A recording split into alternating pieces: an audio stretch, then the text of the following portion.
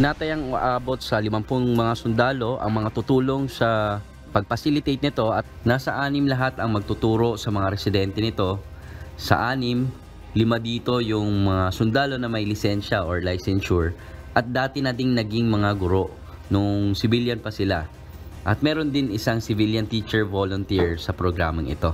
May tuturing ng mapayapang lugar ang bayan ng Patikul Sulu na dating war zone. Kung dati, madalas ang sagupaan dito ng militar at ng teroristang Abu Sayyaf Group, ngayon ay tahimik ng namumuhay ang mga residente. Nakabalik na rin sa kani-kanilang tahanan ang nasa dalawang libong pamilya mula sa sampung barangay na dating lumikas dahil sa gulo at upang mabigyan ng edukasyon ang nasa dalawang daang mag-aaral na hindi nakapagtapos ng primary education dulot ng mga gera sa lugar, naglunsad ang Armed Forces of the Philippines ng Army Literacy Patrol System o ALPS sa pakikipagtulungan ng Sulu Ministry of Basic Higher Technical Education kung saan ang mga sundalong licensed teacher ang magsisilbing guro ng mga mag-aaral doon.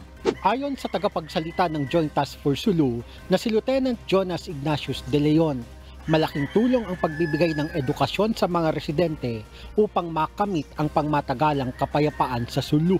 Tataas kasi ang antas ng kaalaman ng komunidad upang wag malinlang sa mga maling ideolohiya ng mga teroristang grupo. Mabibigyan din ng pagkakataon ang mga residente na magkaroon ng pangarap sa buhay upang umasenso.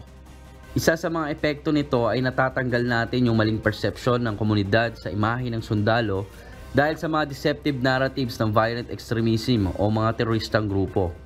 Kung tataas ang antas ng kalaman ng komunidad, hindi na sila basta-bastang malilinlang ng mga teroristang grupo.